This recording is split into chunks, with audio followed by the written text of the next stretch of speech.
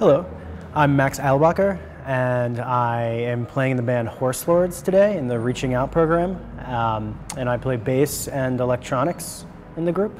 So we are part of the ManiFeste Festival uh, with the with the um, Somax and Gerard and his crew at Ircam, and we are sort of taking our band we've had for almost 13 years now and using Somax uh, and the technology they developed and this instrument and this idea of sort of machine learning and AI and expanding our our normal set of music to include uh, a new kind of vocabulary of how to use this Somax and how to improvise with people uh, interacting with these machines and these computers and these programs and how to kind of grow and learn and interact with this new type of technology within our music.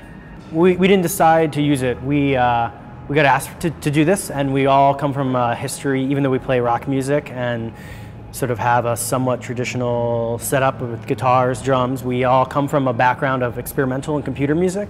So we've always been interested in this sort of music and how to bridge sort of this idea of formal computer music systems and experimental music into this idea of the rock format and working with Gerard and his team and his and his instrument. Uh, that just seems like a natural extension of what we're interested in and how to bring that into the fold of what we're doing live is something we've always been interested in. So getting asked to do this opportunity seemed extremely natural and seemed like a good fit.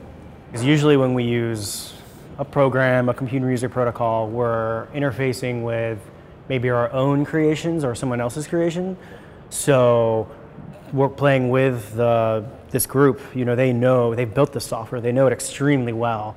So they, we kind of can provide uh, our musical gestures and our language, and then they can navigate and perform with their tools that they know very well.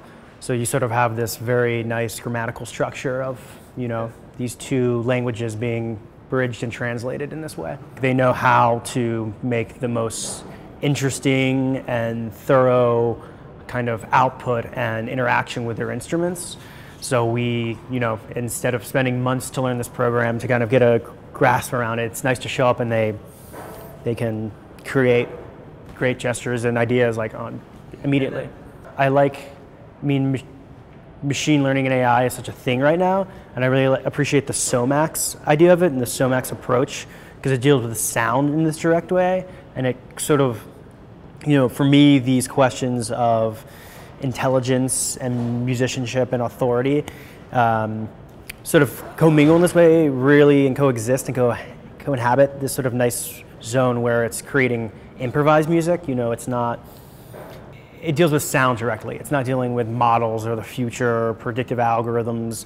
It's like it's listening to sound and then using that sound, you know, based on what the programmers designed, to interact with other real sound. So it's a very interactive co-agent, and I really like that about the Somax, and that it it's sort of not all the grandness and headiness of those questions of AI is there, but it's very direct and in the world of sound.